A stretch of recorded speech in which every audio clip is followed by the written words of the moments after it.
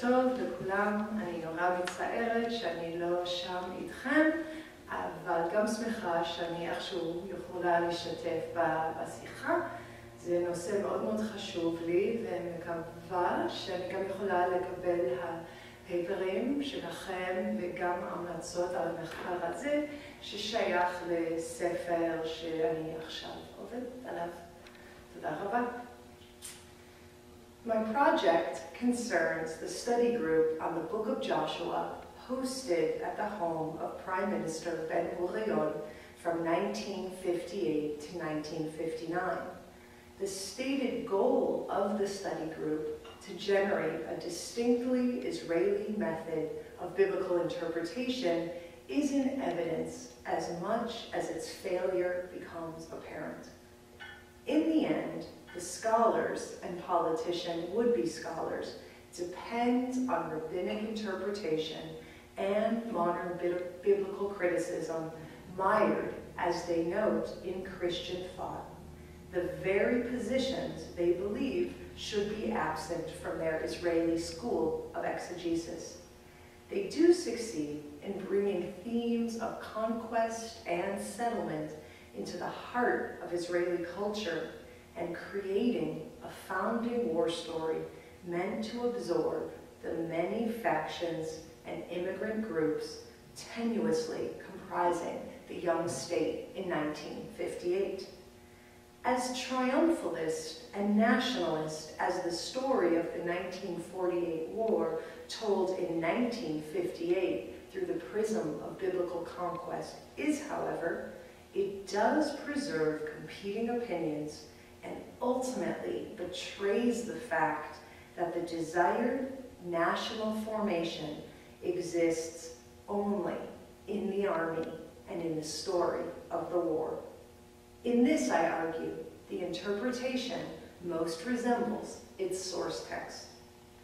Following scholarly consensus, I read the book of Joshua as composed of two distinct sections. Chapters 1 through 12, in my estimation, reflect the ideology of state centralization held by scribes promoting the monarchy in Jerusalem. In the name of consolidating a range of clans, tribes, and cities into a central government, these scribes created a story of a glorious conquest over all the land, led by the exemplary general Joshua ben Nun in the name of projecting the image of a unified people, these scribes repeatedly stress the word all, so that all Israel follows Joshua as they defeat all the kings of Canaan and conquer all the land. As much as it expresses their desire for totality, the repetition also reveals the degree to which the story of the war is the only place where all of this nation actually exists. In other words, the writers of Joshua tell a founding war story in order to unify disparate groups and to promote the idea of the nation through the image of the army. At the same time, these scribes and their patrons needed to make a nation out of something namely the tribes and local groups who agreed to affiliate with the monarchy. So, as the scribes disseminate a story of a national founding war, they concede to these groups by incorporating their traditions in national history. This, I suggest, is the origin of the boundary lists in the second half of Joshua, chapters 13 to 19, as well as many of the tales in Judges.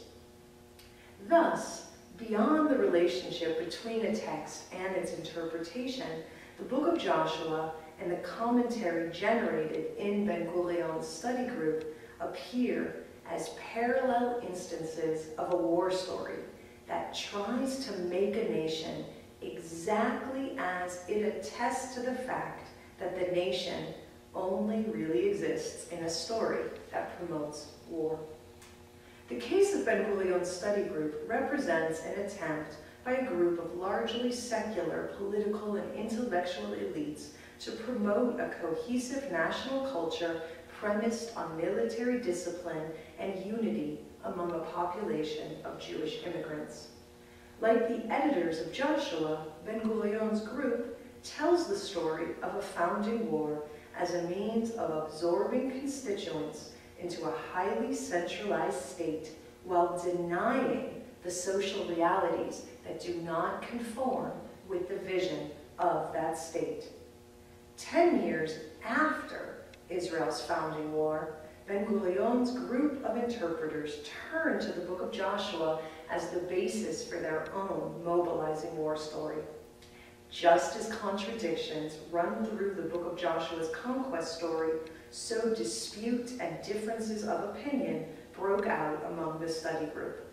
However, the ultimate result was a nationalist narrative intended for public dissemination in which a mighty nation ends its long exile and achieves its destiny through a war against the peoples of the land and region. As closely parallel as this process runs to that of the book of Joshua, the interpretations of Ben-Gurion and his group mark a dramatic turn in the history of Jewish biblical interpretation in which biblical events are taken as directly relevant to the contemporary scenario. Recognition of such relevance further operates to sanction and justify the actions of the state as legitimate and to a certain degree blessed. Scholars have commented on this Protestant turn in the Israeli reception of the Bible and understood it to be part and parcel of a concerted project of nationalist state building.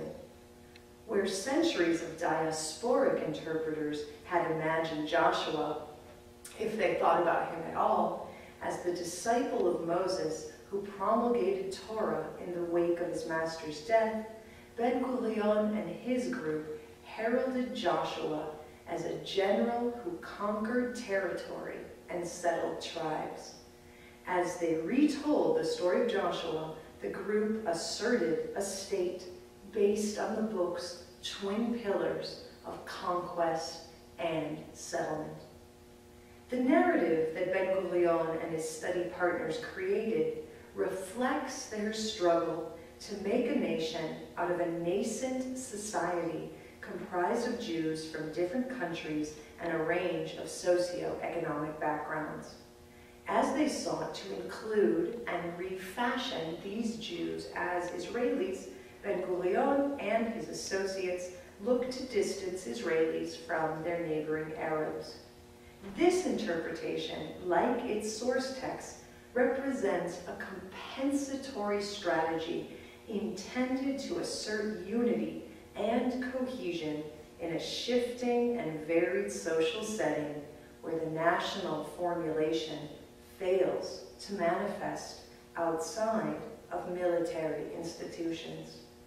Hoping that a distinctly Israeli take on biblical history might reinforce the shaky basis of the state, Ben-Gurion convened government officials, archaeologists, and biblical scholars to collectively interpret the book of Joshua.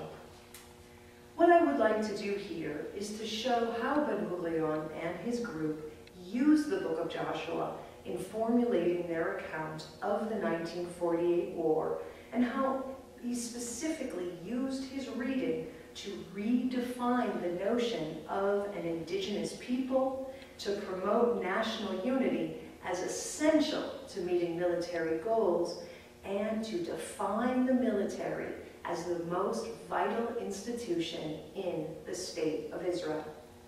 Although Ben-Gurion could tolerate no fragmentation of the cohesive national identity that he promoted, his account, like the book of Joshua itself, conveys the sense of a social reality out of line with the story of a unified army and total victory.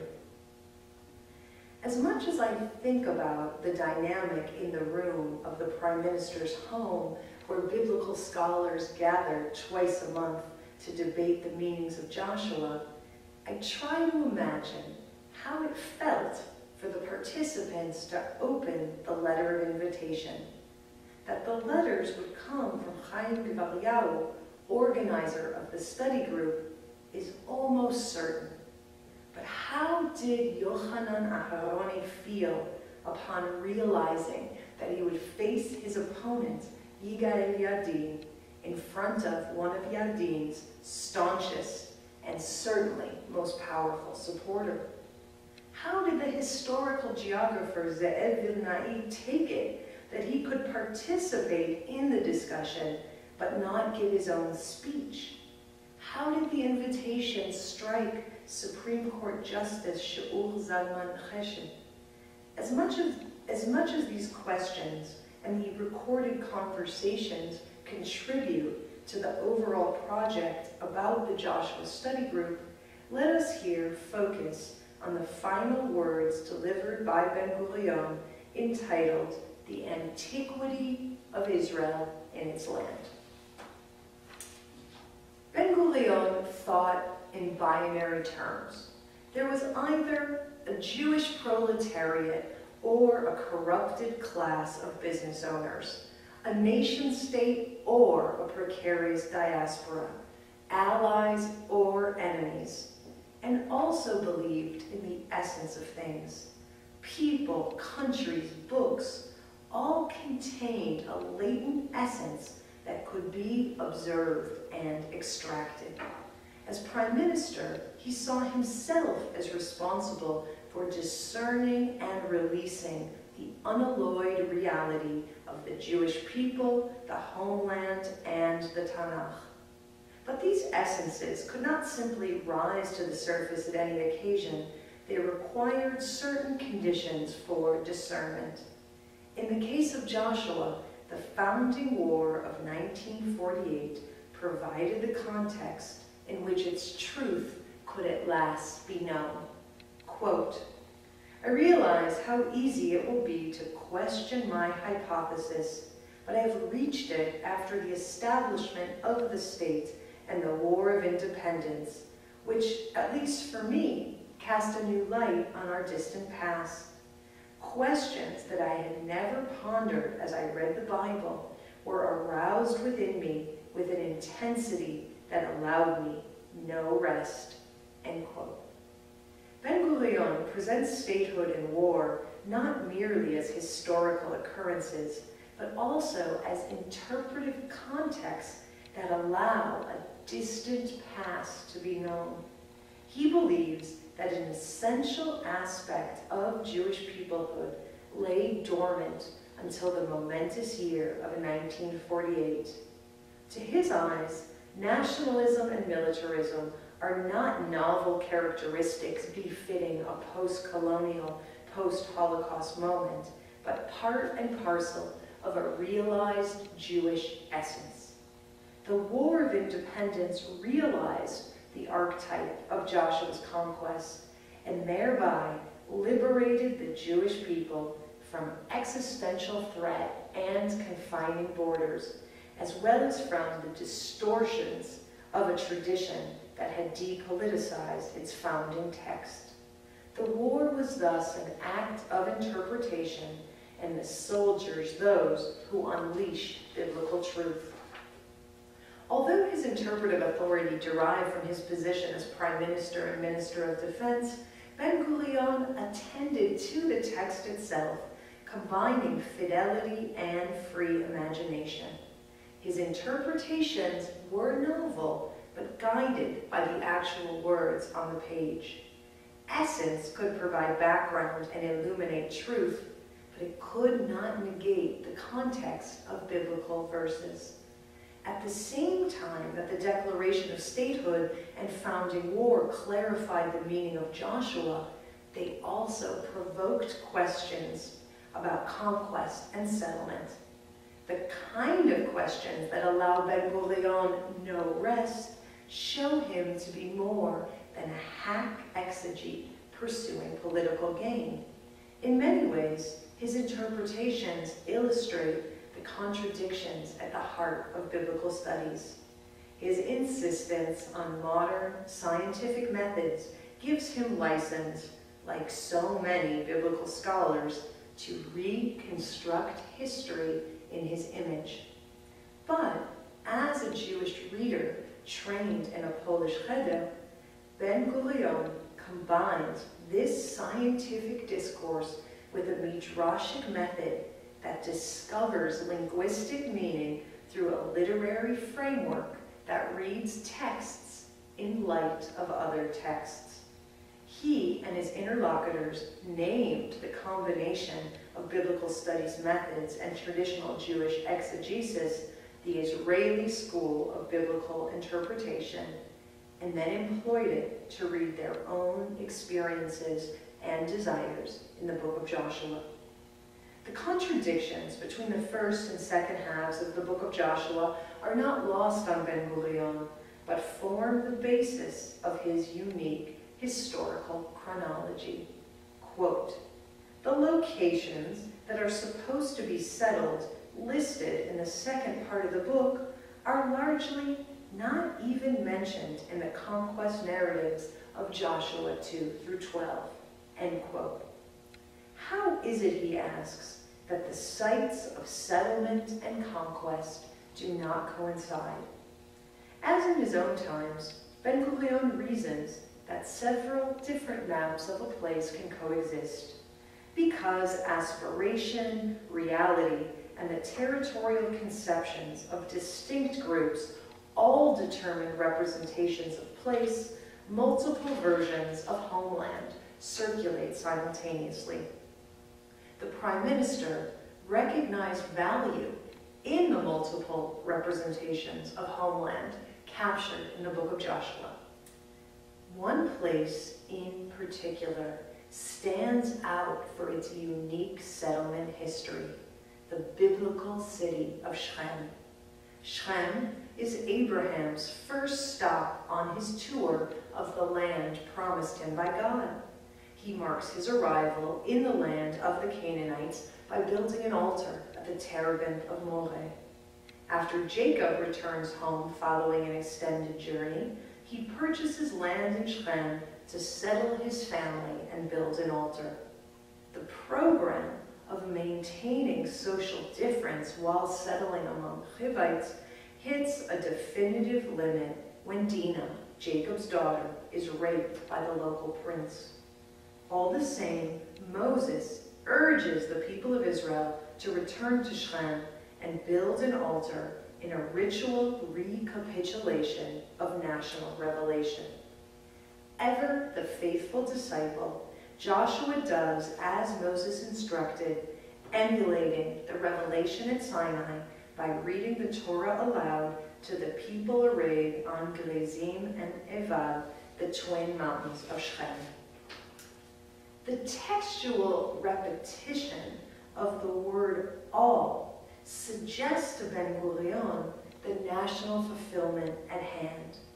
Joshua gathers all Israel, reads all the words according to all that is written in the scroll of the Torah. Not one word of all that Moses commanded was left unread by Joshua before all the community of Israel. The totality of this gathering and symbolic import of Shechem aroused Ben Gurion's interest in this early history of the Palestinian city of Nablus. He wonders specifically how Joshua can convene such an assembly in plain view without having conquered the city. Where are Joshua's Canaanite enemies during the mass gathering of Israel? Why doesn't the king of Shechem come out to oppose him? Ben Gurion never denies the limitations of Joshua's conquest. After all, Joshua constitutes his primary analogy to the 1948 war, which also left so much more to be conquered. So his novel interpretation on this count is not quite compensatory. Rather than ignore the biblical record of Israelite cohabitation with other peoples, he realigns the ethnic categories of the Bible. He builds an innovative thesis of eternally indigenous Jews in the land of Israel, in which two distinct groups comprise the ancient people of Israel an elite pioneering group who received the law at Sinai and marched across the Jordan with Joshua, and a more populous group of Hebrews indigenous to Canaan. The pioneers formed a compact social unit descended from the family of Joseph, whereas the Hebrews of Canaan were nearly indistinguishable from their neighbors. Joshua's pioneers were an elite corps who had been exposed to the advanced culture of the Egyptian empire and chosen by God to receive the law at Sinai. Yet their knowledge and skill amounted to little until they returned to the land of their fathers and devised a state.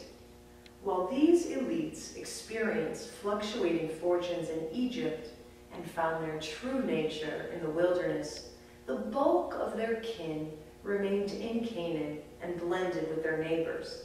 Shechem, in Ben Gurion's eyes, was the long-standing cultural and spiritual center of Hebrew Canaan to which Joshua brought his people in the name of reunion with their native counterparts. There, the diasporic elite encountered their indigenous compatriots and incorporated them into the national army. Because of this project of reunification and a largely successful campaign against non-Hebrew natives, things got much better for both groups. Ultimately, David, king of Israel, established the far superior capital in Jerusalem. Lest one think that turning the native Hebrews of Canaan against their neighbors was a bad idea, Ben Gurion stresses that the natives reap the greatest benefit. Mixing with neighbors, Ben Gurion explains, represents a form of backsliding from monotheism as well as from the sublime possibilities of national spirit. By forgetting their God, the natives lost the spirit and achieved nothing. Joshua revives them, binds them to their people, and enables them to achieve the independence befitting their collective essence. By separating them from the other locals, the pioneers uplift the natives and restore them to the ranks of the chosen people. Ben Gurion arrives at this theory through probing questions that rehearse the reasons for the Zionist movement. Foremost, he asks why anyone would abandon countries of advanced culture for the backwater of Canaan. Abraham left Mesopotamia, quote, a rich and cultured land to go to that poor and backward land, end quote. And the people of Israel, although with little choice due to Pharaoh's vow to destroy them, similarly emigrated from an advanced society to its hinterland. Ben-Gurion does not, as one might suppose, call upon oppression as the reason that Israel must have its own country. Instead, Israel deserves its land because, according to him, it has always been the land of the Hebrews. Hebrews were indigenous to the land, and the wanderers of the Bible had always come in search of them with a clearer, purer conception of identity that only privileged members of the diaspora could cultivate. Abraham journeys to find these Hebrews. Jacob reunites his family with them in Shechem. They sustain Joshua's troops during the long march of conquest, and the earth itself still bears their traces. Ben Gurion flouts the model of rights through conquest presented in the book of Joshua in order to insist on rights based on priority. Quote, my first assumption is that the Jewish people, or even the Hebrew people, was born in Israel and grew up in Israel, even before the days of Abraham, as one of the nations of Canaan, and at that time was scattered in the south, the central sector, and the north, with its spiritual and possibly and possible political center in Shechem. End quote. This marks a surprising intervention in the discourse of primacy. Hebrews, Jews even, belong to the land according, belong to the land through nativity. Rather than conquerors of Canaan, Ben Gurion's Hebrews are legitimate members of a Canaanite federation. Quote, Canaan signifies an umbrella term similar to Israel, with a double meaning in the Torah and in the book of Joshua. It is both the name of one of the peoples of Canaans, like the Perizzites, Girgashites, Hivites, Jebusites, and is also the general name for all of the peoples of Canaan, including Hebrews. Insofar as Hebrews belong to the land, Joshua does not initiate a conquest so much as a civil war that redeems the indigenous Hebrews from the clutch of incorrect worship and backward culture. From a political standpoint, the problem with the native Hebrews rests in their decentralized system that Joshua corrects by establishing a centralized state. This state is not merely a set of bureaucratic institutions, but also the agent of cultural revival. As a prelude to establishing this state, Joshua brings his message to Shechem, the current capital and historic birthplace of the monotheistic Hebrews. At first, Ben Gurion's positions seem almost counterintuitive. Why bring up native claims when the legitimacy of the State of Israel depends upon the denial of Palestinian indigenous rights? Ben Gurion himself had approved and presided over the expulsion of Palestinian communities and subjected those incorporated by Israel to military rule. Why give voice to a mode of territorial claim so threatening to the Zionist enterprise when discussing a biblical book that justifies holy war? I suggest that Ben Gurion arrives at his interpretation because the notion of historical fulfillment figures so prominently in his thought. Ten years into statehood, Ben Gurion desired its justification through history rather than war. Of course, he was a politician singularly driven by the project of nation building, but he was also a thinker who wanted to settle the issue of Jewish belonging. On this count, he claimed to have discovered the essence of Jewish belonging in the book of Joshua. Jews belonged in Israel not simply because the young state prevailed in its war, but because they were properly natives of the land. Without stating it outright, Ben Gurion discounted Palestinian claims by dating Jewish ones to a considerably earlier era. Palestinians may have been present when the waves of Jewish immigration began, but they did not and could not possess the same historical spiritual link. Should Palestinians cite their own sense of Canaanite ancestry, then Ben Gurion could point to co-extant ancient Hebrews. His reading recapitulates acts of physical Palestinian removal during the war and post, post-war settlement period by erasing non-Hebrew peoples from biblical concern, or at least dismissing their claims. But whereas non-Hebrew natives can only have a corrosive influence, Ben Gurion views knowledge gained in the diaspora as the necessary component of nation building. Ben Gurion's interpretation enabled him to solve the exegetical crux of the two speeches with which the book of Joshua ends. Interpreters have long faced the question of how to account for the repetition of farewell speeches with which Joshua's life and his book ends. Joshua parts from his people in both chapter 23 and 24, but reestablishes the covenant between Israel and God only in chapter 24.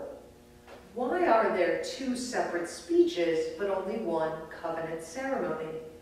Where the historical linguistic approach, source criticism, answers the problem of repetition by attributing the speeches to scribes from different periods, Ben Gurion perceived two separate audiences addressed by a great leader on his deathbed. Quote, a thorough, a thorough study of chapter 24 must lead one to the conclusion that the gist of this chapter was neither written later nor added, but includes the main contents of the book of Joshua, and in any case is its earliest and most reliable portion. End quote. Not only does Ben Gurion refuse to marginalize Joshua's last speech as a later addition, but he also insists that it contains its most important kernel of historical truth. In chapter 23, Ben Gurion suggests, Joshua encourages the community that escaped Egypt, the new immigrants, Olim Chadashim, to uphold the Torah given to them by Moses. Quote, Chapter 23 does not even mention the exodus from Egypt because those who came from Egypt did not need to hear the story. End quote. Joshua's immigrant pioneers may need encouragement as they settle a strange homeland, but they do not need a rehearsal of their own recent history. Quote, the covenant had long been in effect and was familiar to the listeners. Furthermore, their identity forged in the wilderness is cohesive and durable. Quote, they were no longer divided into tribes because those who went down to Egypt and those who left Egypt were united all the while by one faith, one hope, and were led by one teacher. End quote. The pioneers well understood the need for unity in a time of conquest and relied on religion and a sense of shared destiny to bind them. A strong central leader further supported the necessary cohesion. The group had a key role to play in the land insofar as their unity and sense of purpose awoke the indigenous Hebrews from their stupor and catalyzed a revival movement. In the absence of the new immigrants, nothing would have changed in Canaan, and the glorious past would have remained dormant. This parsing of Joshua expresses three core principles of Ben Gurion's statism immigration, acculturation, and centralization. He believed that a country built on successive waves of Jewish immigration required a definitive culture for the immigrants to adopt. The Judaism that formed the very basis for immigration and statehood was utterly deficient in his eyes by virtue of its 2,000-year eschewal of nationalism. In place of religious practice, immigrants needed to adopt an Israeli national identity.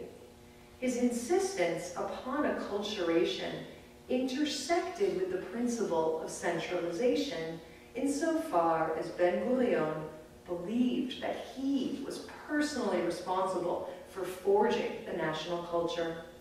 Hebrew language formed an important part of this culture, as did military service, but living an interpretation of the Bible was the sine qua non. Just as Joshua transformed the Hebrews by way of the texts brought from Sinai, so biblical narratives of a nation and war could remake the Jews of the diaspora into proper Israelis. The Tanakh was their patrimony, but scholastic interpretation had distanced them from its essence.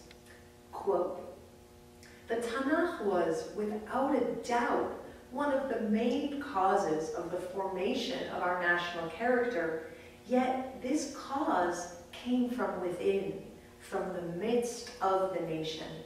The greatness of the Tanakh is the greatness of Israel's spirit. It is a product of this spirit, a product of the spirit of the heroes of our nation. End quote. Really, reasoned Ben Gurion, God had not given the Jews the Torah. They had produced it as a reflection of an exemplary national spirit. This position epitomizes Ben Gurion's brand of secular messianism. God had neither liberated Egypt, God had neither liberated Israel from Egypt nor revealed its holy scripture. Rather, Israel had aroused its latent will, freed itself, and poured its spirit into a national history. Because the Tanakh belongs to the Jews in perpetuity, it can move their collective transformation and acculturate them correctly in modern Israel. As it describes ancient war heroes, the Tanakh motivates modern-day war heroes embodying a national spirit. The glorious nation Ben Gurion recognized in the pages of the Bible conformed to the country that he wanted to lead. The figure of the pioneer held together all of Ben Gurion's most deeply held values, including self-sacrifice, working the land, and military defense. The very term chalutz derives from the book of Joshua, where it describes an infantry comprised of men from the two and a half tribes who live east of the Jordan River. In the Israeli culture that Ben Gurion helped develop, the Zionist vanguard of the Second Aliyah formed the elite. They had founded the kibbutzim, formed the militias, and were now running the government. Just like the group that, with Josh, that marched with Joshua, Ben Gurion viewed his Ashkenazi cohort as the catalyst of statehood, an elite in an ideological rather than material sense. This elite core ushered in a steady process of development, and without them, Israel's glorious past would never have been restored. In the allegory, then, who figures as the native Hebrews of the land? To the Prime Minister's eyes, in chapter 24, which describes the covenant ceremony at Shechem, Joshua, quote, starts his remarks with a lecture on the ancient history of the nation, as Ben-Gurion himself was prone to do. The biblical leader then chastises the Hebrew tribes who had degenerated into Canaanite idol worship and recounts the history of the elite in order to provide them with a model of correct behavior. For those who never left the land and never knew Moses, the veterans or long-standing residents, Vatikim, this serves as their Sinai. The revelation shakes them however temporarily, from their idolatrous oblivion. More importantly, it creates motivated leadership among the elders of the old settlement. And the recruitment of these elders facilitates the mass transformation from tribalism to nationalism. Ben Gurion detects the inferiority of the native Jews at multiple levels they live a tribal life. they harbor foreign gods, and they are not the least bit aware of God's covenant. His combination of nativity and tribalism suggests that Ben Gurion speaks about the Arab world. He likely has Middle Eastern, Mizrahi, Jews in mind. As much as he sought to strip immigrants from Muslim countries of their religiosity and to foster nationalism in its place, Ben Gurion entertained most of the romantic conceptions of Orientalism. He considered Jews from Middle Eastern countries to be indigenous, pure of heart, hardworking, simple folk, able to withstand deprivation better than their Ashkenazi counterparts. A simple and unsparing man himself, Ben Gurion showed greater empathy towards immigrants from Middle Eastern countries.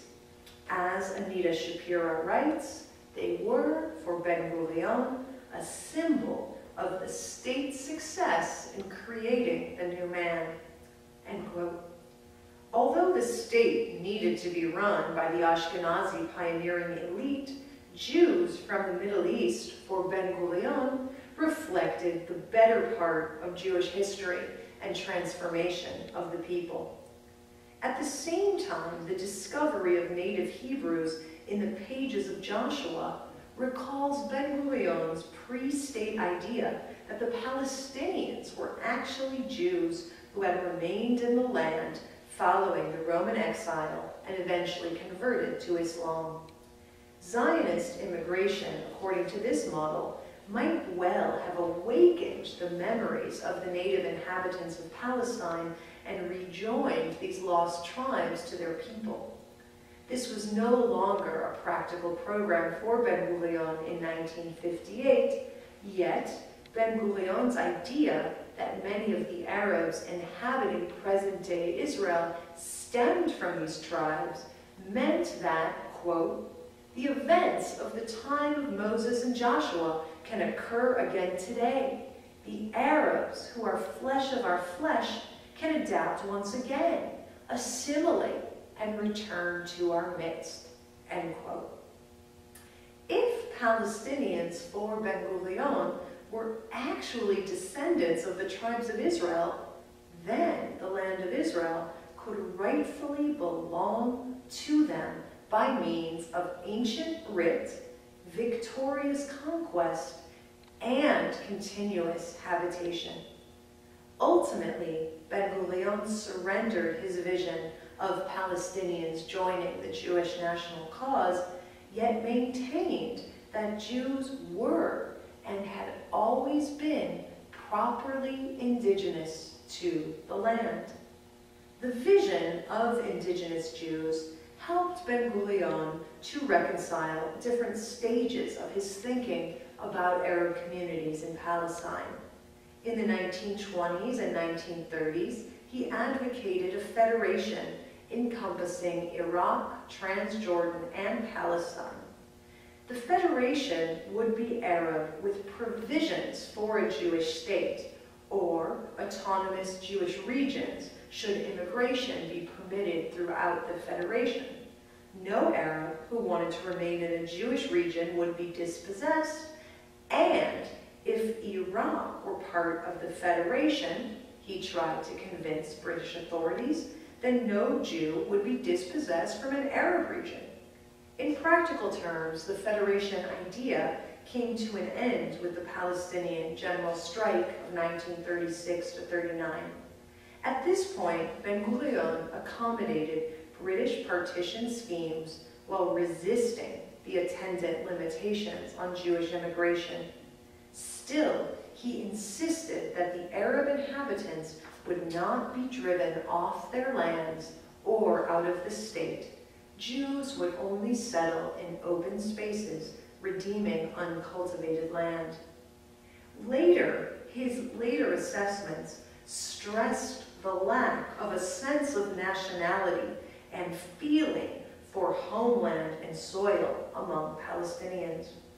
And when the opportunity to conquer more territory arose In the 1948 war, Ben-Gurion presided over Joshua-like evacuations and destructions of Palestinian towns. In the conquered areas that remained standing and populated, he established a repressive military rule restricting freedom of movement, organization, and expression that formally endured until 1966. His idea of collective, continuous Jewish presence in the homeland seems to have aimed toward the legitimization of the expulsion of non-Jews and uneven distribution of privilege and ethno-economic exclusions of the young state. Parallel to the book of Joshua, Ben-Gurion's emphasis on an inaugural war that fulfills destiny functioned as a centralizing narrative intended to obscure a very different social reality. Conjuring up indigenous Hebrews from the pages of the Bible in the 1950s was more pointedly a technique of circumventing Palestinian claims. In spite of his identification of two distinct Hebrew groups, Ben-Gurion was obsessed with, with proving the cohesiveness of the ancient nation. In his mind, the people of Israel had no competing or coextensive identities. There was no tribal way of life, argued the prime minister. The tribes were simply interchangeable administrative divisions.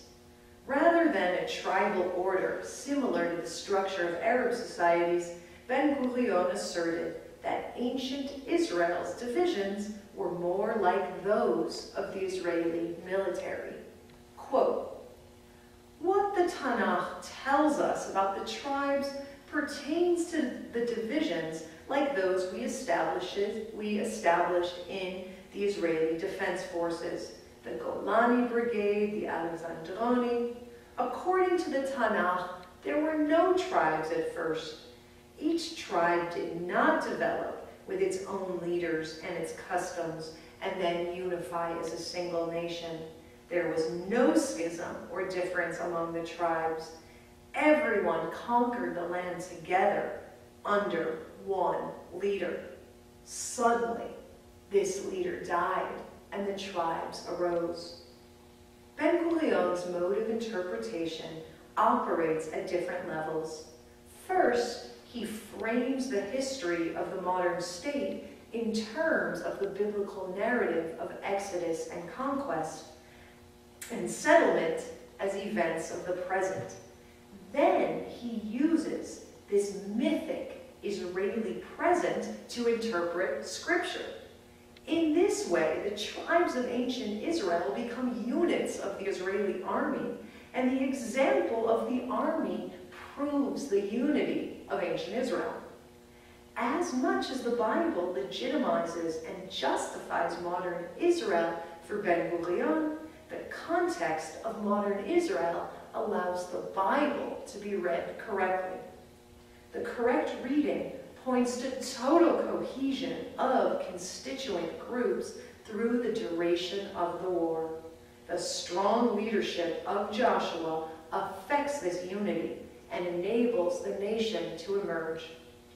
Quote, occupation, settlement, tribe, nation.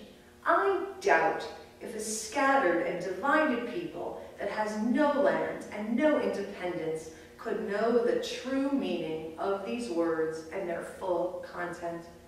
Those who do not engage in conquest cannot know what is involved in the act of conquest. It is the same thing with settlement.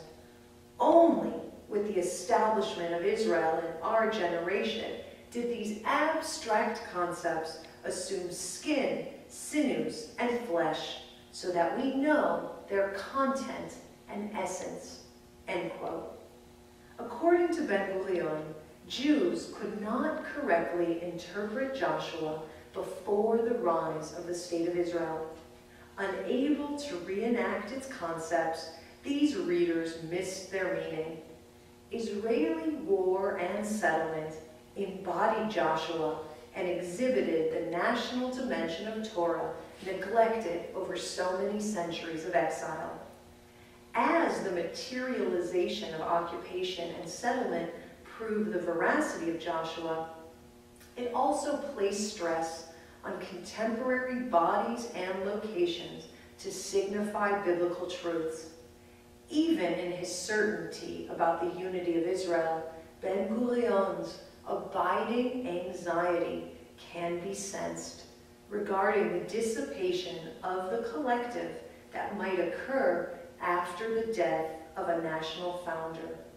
Quote, even though the people was divided into 12 tribes in the days of Moses and Joshua, it was united and worked and fought as one national unit and heeded one leader, first Moses and afterwards Joshua. Only after the death of Joshua do we find the nation split and divided into tribes, with every tribe fighting separately or in a group, as in the days of the prophetess Deborah. End quote. Against the grain of biblical studies, Ben Gurion imagines tribalism as a devolution following a golden age of national harmony. Further anxiety about ideological as well as ethnic differences among the newly forged Israelis pervades Ben Gurion's interpretation. Such differences seem to him the very forces that could undermine the centralized state. Deliverance, in his view, could only be achieved through mamlachtiyut, centralized state institutions, policy, and culture, since the state figured as, quote, the only political and symbolic entity that could bind together the fragmented Jewish people, end quote. On the basis of the two inferred audiences of Joshua's speech, Ben Gurion made a series of trans-historical claims. Canaan had always been a land inhabited by Hebrews. Not only did Joshua find compatriots there who were ready to take up arms, but Abraham also traveled to Canaan because of the presence of like-minded residents. For Ben-Gurion, this meant that the link between modern Jews and the land transcends the spiritual and historical dimension. Jews are indigenous to this land, and their separation from it caused centuries of trauma. Ben-Gurion subjected the concept indigenous to a very particular definition.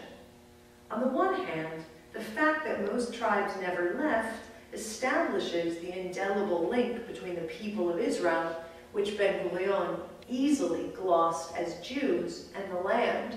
And on the other hand, the local tribes were closer in spirit to their Canaanite neighbors, a backward group that required redemption through, quote, the return of the elite among the Hebrew people to the land.